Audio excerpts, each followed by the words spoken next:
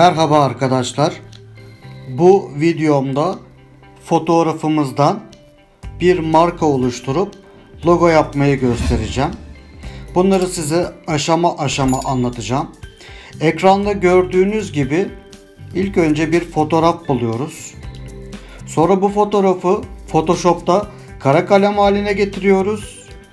Sonra bu kara kalem haline getirdiğimiz fotoğrafı Adobe Illustrator'ı alarak vektör hale getiriyoruz. Ve bir marka oluşturuyoruz. Marka ismi buluyoruz.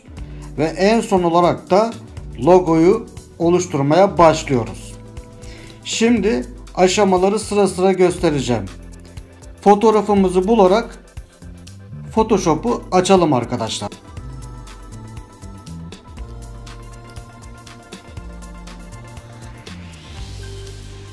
Photoshop'u e, açtıktan sonra kendi kullanmak istediğimiz fotoğrafı çağırıyoruz. Buradan File menüsünden Open diyoruz. Ve kullanmak istediğimiz fotoğrafı, logo yapmak istediğimiz fotoğrafı Photoshop'a çağırıyoruz. Aç diyerek ekrana geliyor. Benim kullanmak istediğim fotoğraf bu. Ben bunu işte çizime dönüştüreceğim. Bunu yapmadan önce burada solda renk paletinden altta gördüğünüz siyah ve beyaz renkler bu şekilde olmalı. Üst taraf siyah, alt taraf beyaz şeklinde. Şimdi yukarıdan menüler bölümünden filtrelere yani filtre geliyoruz. Buradan filter galeriyi açıyoruz. Filter galeriyi açtıktan sonra sketch bölümüne tıklıyoruz ve stamp'ı seçiyoruz. Burayı seçtikten sonra burada kendiniz ayarlamalar yapabilirsiniz. Yani ayarlamalar derken şöyle çok siyah olabilir, çok açık olabilir. O şekilde ayarlamalar yapabilirsiniz. Bana göre bu şekilde uygun. OK diyorum ve ekrana fotoğrafım çizim haline dönüşmüş şekilde geliyor. Şimdi bu fotoğrafta ben kullanmam istemediğim bölümleri sileceğim arkadaşlar. Silmek için Buradan silgiyi alıyoruz. Silgimizin ucunu büyütüp küçültme yapabiliriz buradan. Sağ tıklayarak mouse'umuza. Sonra bu istenmeyen bölgeleri siliyoruz arkadaşlar. Ben burayı hızlı geçeceğim. Burayı hızlı geçmeden önce başka bir şey daha göstereyim. Öyle geçiş yapayım. Burada mesela e, tamamlamak istediğiniz bölümler olabilir. Mesela nedir? Gözlüğün şurasında beyazlık kalmış. İçinde beyazlık kalmış. Bunun için buradan fırçamızı seçiyoruz. Fırçamız Brush Tool. Bununla buraları böyle boyayabiliriz arkadaşlar. Siyaha. Şöyle tamamlayıcı olsun diye kapatabiliriz. Bu işlemi yaptıktan sonra tabi bunu ne yapıyoruz? Dışarıya JPEG olarak aktarıp Illustrator programına çağırmamız gerekiyor. Ben şimdi buradaki buradan sonraki aşamaları e, silerek hızlı bir şekilde geçeceğim. Illustrator programında nasıl yapılacağını anlatacağım daha sonra da.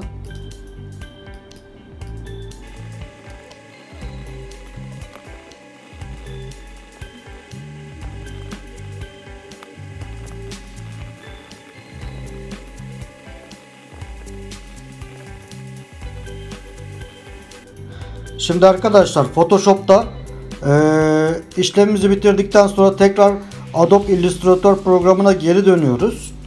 Burada ben yaptığım aşamaların yanlarına tik koyuyorum. Mavi tik gördüğünüz gibi. Şimdi fotoğrafımızı bulduk. Photoshop'ta açtık.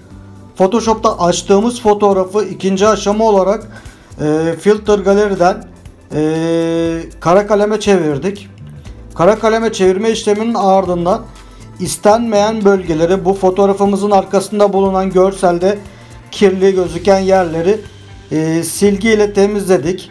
Brush çubuğumuzla e, doldurmak istediğimiz bölgeleri tekrar doldurduk. Ve temiz halini Illustrator programına çağırdık. Şimdi üçüncü hali fotoğrafımızın bu. Biz bu hali vektör haline dönüştürmemiz gerekiyor. Şu an bu burada JPEG bir görsel. Biz bunu vektör hale dönüştürmemiz için fotoğrafımızı seçiyoruz. Fotoğrafımızı seçtikten sonra yukarıdan menüler bölümünden Object'e geliyoruz ve burada Image Trace Image Trace arkadaşlar. Bu Image Trace'a giriyoruz ve Make and Expand. Buna tıklıyoruz. Evet arkadaşlar gördüğünüz gibi fotoğrafımız vektöre dönüştü. Yani artık noktalardan oluşuyor fotoğrafımız. Şimdi bu fotoğrafın arka planında beyaz e, background var. Bunu yok etmemiz gerekiyor. Bunu şöyle açıklayayım size. Şuradan e, araç çubuğundan alt tarafa şöyle bir kare çiziyoruz. Buna Windows'dan Swatch'a gelerek herhangi bir renk veriyoruz. Siyah ve beyaz harici arkadaşlar. Ben burada kullanacağım. Bunu daha sonra göstereceğim size. Turuncu rengi verdim.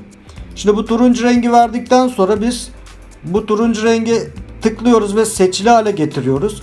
Sonrasında mouse'umuza sağ tıklayarak Orange bölümünden Send to Batch yani bu yaptığımız renklendirmeyi fotoğrafımızın yani piksele e, vektöre dönüştürdüğümüz fotoğrafın altına gönderiyoruz. Gördüğünüz gibi burada beyaz alanlar gözüküyor. Şimdi biz bu beyaz alanları yok edeceğiz. Nasıl yok edeceğiz? Burada şu görseli tıklıyoruz ve e, Select'ten Save ve File Color diyoruz. Sonra sil tuşuna basıyoruz ve siliyoruz. Gördüğünüz gibi arkadaşlar fotoğrafımızın arkasında bulunan e, beyaz alanı yok ettik.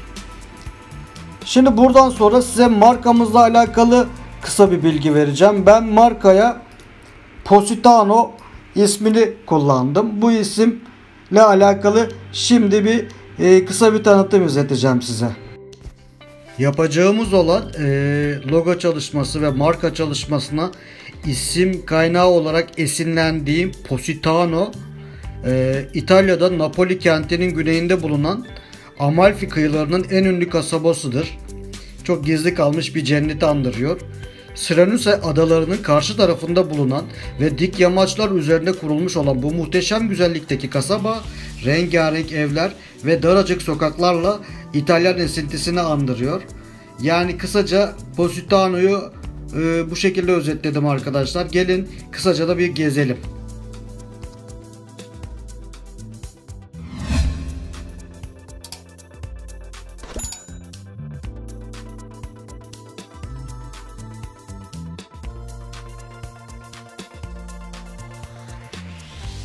Evet arkadaşlar ee, markamıza isim veren Positano'yu kısaca görüntüledim sizin için. Şimdi Positano'nun marka ve logo çalışmasına başlıyoruz. Ben Positano'nun yazı karakteri olarak Bodoni BD BT'yi seçtim. Bold karakterde. Altına da Beer yazdım. Yani bir bira markası yapıyorum. Ee, o da Futura fontu. Medium 29 punto yaptım. Şimdi gelin hep beraber logoyu oluşturalım. Logoyu oluşturmaya başlamadan önce görselimizi buradan buraya copy paste çağırıyoruz. Şimdi arkadaşlar ben bu logoda 3 renk kullandım. Şöyle ben size renk paletinden swatch'tan renkleri göstereyim. Turuncu, hafif bej rengi ve siyah rengi var. Şu logoyu yapacağız. Siz bu renklere e, bağımlı kalmayın. İstediğiniz renkleri oluşturabilirsiniz. Renk oluşturmak için şuraya tıklayarak New Swatch'tan renk oluşturabilirsiniz. Buradan spot renkler de oluşturabilirsiniz. Proses renkler de. Bu gray skalayı ben genelde CMYK çalışıyorum. Burada istediğiniz rengi seçebilirsiniz. Kırmızı seçersiniz, mavi seçersiniz. Seçtikten sonra OK dediğinizde zaten renk paletine renkler geliyor. Ben logoda 3 renk kullandım. Şimdi e, bu kullanacağım görseli seçiyorum. Yani kendi fotoğrafımı vektöre çevirmiştim zaten. Bunun rengini hafif bej yapıyorum. Burada arkadaşlar hafif bir şekilde görebiliyorsunuz rengi. Şimdi şöyle yeni bir sayfa daha açayım ben.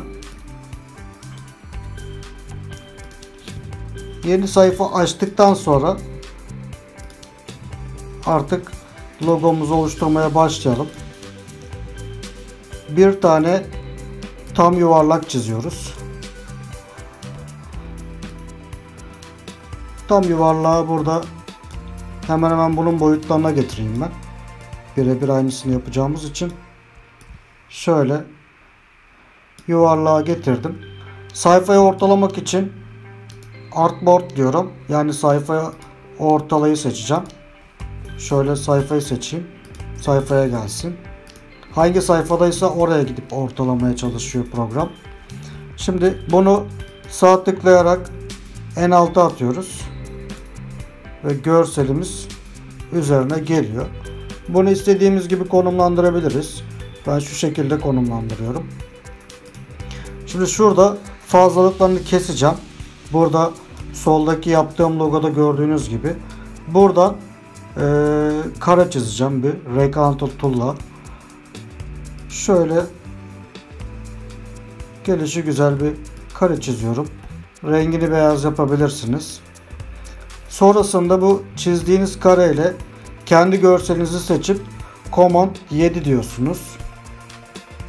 Yani bunu içerisine kopyalıyoruz. İçerisine kopyaladıktan sonra şöyle hafif yukarıya da kaydırabilirsiniz. Şimdi şu etrafındaki çizgileri oluşturalım. Şöyle yine yuvarlak çiziyorum. Yuvarlağın dolgu kısmını şeffaf yapıyorum. Stroke kısmını, çizgi kısmını renklendirip turuncu yapıyorum. Sonra bunu sayfayı tekrar ortalıyorum. Şöyle hafif Shift'e basarak, alta basarak orantılı bir şekilde büyütüyorsunuz arkadaşlar. Eğer ortalama yani kısmı sayfayı ortalama kısmı sizin şurada çıkmıyorsa Windows'da Align var burada. Bunu tıklayarak buradan da aynı şeyi yapabilirsiniz. Bu seçtiğiniz objeyi ortalıyor. Bu çalışma alanınıza sayfaya ortalıyor dokümanı. Şimdi ortalamayı bitirdik. Ben tekrar şu en dışta çizdiğim turuncu e, yuvarlağı seçiyorum. Komut C, komut V yapıyorum. Yine büyütüyorum bunu. Ortalama büyüklüğe gelmesi gerekiyor. Yine şöyle eski logomun üzerine getiriyorum ben bunu ortalama. Şöyle büyüklüğüne emin olduktan sonra sağ yeni sayfaya yeni oluşturacağımız logonun sayfasına çekiyoruz arkadaşlar şöyle. Tekrar ortala diyoruz. Tekrar sayfamızı seçmediğimiz için buraya gitti. Sayfamıza getirelim. Şöyle ortala diyoruz. Şimdi bu çizgi kalınlığını burada stroke var. Stroke'dan 3 punto yapıyoruz. Yani bunu siz 3 yaparsınız, 4 yaparsınız. Bunun böyle 3 punto olacak diye bir kaidesi yok. Stroke eğer burada çıkmıyorsa tekrar Window bölümünden burada da stroke bölümünü açıp şuradan da aynı işlemi yap yapabilirsiniz arkadaşlar. Şimdi çerçeveyi de oluşturduktan sonra ben bu en dışa çizdiğim yuvarla tekrar komut C komut V diyorum. Biraz daha büyütüyorum bunu. Ortalama yani şöyle göz kararı. Tekrar sayfamızı seçip sayfamızı ortalıyoruz bunu. En dış çizdiğim çizgini stroke'unu yani en dıştaki renkli gördüğünüz yeri şeffaf yapıp iç dolgusunu şöyle hafif krem renginde yapıyorum ve bunu mouse'umun sağ tıkına tıklayarak Arrange'dan en arkaya gönder diyorum. Send to batch diyoruz. Bu şekilde arkaya gönderdik arkadaşlar. Şimdi ben daha önce yazdığım logoyu buraya getireceğim. Şu. Bu karakterleri de siz kendinize göre de seçebilirsiniz. Yapıştır diyorum. İsteden, istenilen büyüklüğe buraya güzel oturması için şöyle komut Z diyorum tekrar. Bunu sağ tıklayarak en üstte alın arkadaşlar. Rengini de yine krem seçip şöyle dokümanı üzerine getiriyorum. Ve bunun ayarlamalarını yapıyorum şöyle. Bunu da buradan tekrar sayfaya sağdan sola ortalıyorum. Şöyle. Biraz daha ufaltayım. Şu benim kendi görselimin şu kısmını biraz daraltacağım. Şöyle alttan seçiyorsunuz. Yukarı doğru ok tuşlarıyla daraltma işlemini gerçekleştirebilirsiniz arkadaşlar. Logoyu biraz yukarı alıyorum. Ve birazcık daha büyütüyorum yazı karakterimizi. Şöyle. Şimdi ben bunun altına buradan pen tool'dan bir çizgi çizmek istiyorum. Çizdim. Çizgimize e, renk vereceğiz. Bu kısmı dolgu kısmını şeffaf yapıyoruz. Çizgi kısmını hafif bej renginde yapıyorum ben. Tekrar bunu sayfamıza ortalamak istiyorum. Burada artboard seçili olması lazım. Ortalıyoruz. Baştan boş bir alana tıklayın arkadaşlar. Sonra ortalayın. Şöyle. Göz kararı ayarlayabilirsiniz. Ben burada stroke'u şu modda kullanmak istiyorum. Yani kenarları incelerek devam etsin. Sonra ne yapmışım? İşte kuruluş yılı 2020 gibi yapmışım. Bu grup halinde Positano bir yazısı. Bunun grubunu buradan çözüyorum. Buna bu yazıyı buraya kopyalıyorum. Alta basarak aldım ben. Buna 2000 2020 diyorum. Ve bunun yazı karakterini diğerlerine göre birazcık ufalttıktan sonra sayfaya tekrar ortalıyorum. Evet. Şimdi iki tarafına yıldız koymak istiyorum. Yıldızı da şuradan Star Tool'dan yıldız yapıyorsunuz şöyle arkadaşlar. Yıldızın rengini de ben turuncu yapıyorum. Turuncu yaptıktan sonra buralara konumlandırabilirsiniz. Şöyle. Şimdi yuvarlak içerisine soğuk içiniz yazacağım. Şurada içeride kullandığım ben çerçeveyi kopyalıyor, kopyalıyorum. Komut C, komut V ile dışarıya aldım. Text alanını seçip şuraya text alanını seçtikten sonra basılı tutuyorsunuz. Type on the pad tool diyor. Ee, bunu seçip şöyle dairenin üzerine tıklıyorsunuz ve soğuk içiniz yazıyorsunuz buna. Ben bunun karakterini Arial Black yapmıştım sanırım. Evet Arial Black yapalım tekrar. Arkadaşlar daire seçiliyken Type Down Type on e, Pet'e geliyorsunuz ve şu en alttakini seçiyorsunuz. Flip'i işaretleyip Preview'i açarsanız bu böyle içe doğru yazıyor. Ben sizin anlayacağınız dilden anlatmaya çalışıyorum arkadaşlar. Tekrar şu alanımı sayfamın üzerine getirip sayfaya ortalıyorum. Sonrasında yazıya ayarlama yapacağım. Şöyle büyütme işlemi yapıyorum. Sonra kenarından tutup şöyle döndürebilirsiniz, çevirebilirsiniz. Şöyle yazının tam orta olması için ayar yapabilirsiniz. Birazcık büyütüyorum. Şimdi bu noktalar burada çok uzakta kalmış. Şöyle ayarlıyoruz. Bunları da ikisini aynı hizaya getirmek için e, Allegin'den seç en üstteki Allegin to Selection'ı seçiyoruz ve şurada ortala tuşuna basıyorum ben.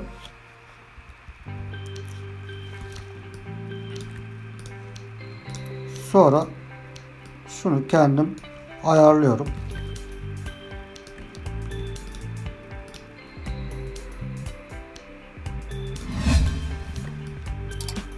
Şöyle arkadaşlar. Bunun ayarlamalarını siz yapabilirsiniz. Sonrasında bu soğuk içiniz yazdığım yazıyı tekrar komut C ve komut V yapıp dışarıya aktarıyorum.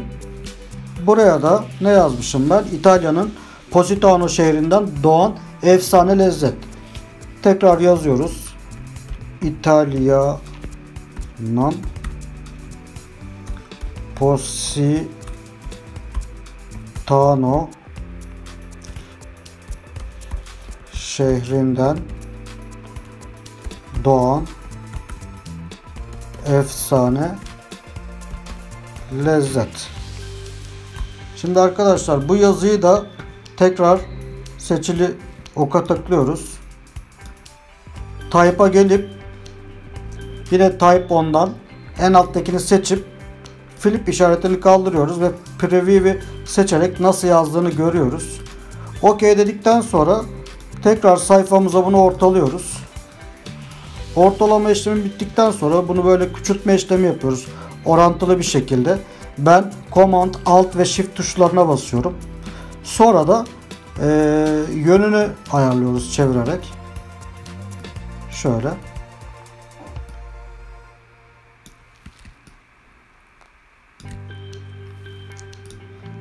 Evet arkadaşlar logomuz oluştu. Yani ben de soldaki daha önce yapmıştım. Gördüğünüz gibi tekrar aynısını yaptık. Ben beni bunu bir mockup üzerinde size göstermek istiyorum bir de arkadaşlar. Ben daha önce yapmıştım. Yaptığım uygulamayı da göstereyim size. Şöyle bir mockup indirdim. Photoshop'ta açıyoruz.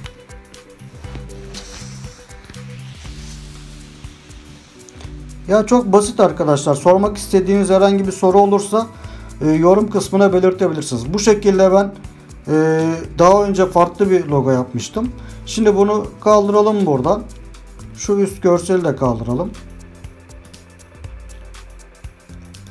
Şöyle.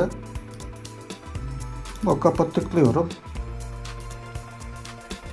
Illustrator programına gelip yaptığım logoyu buradan kopyalıyorum. Photoshop'u açıp yapıştır diyorum. Orantılı bir şekilde büyütüyorum bunu.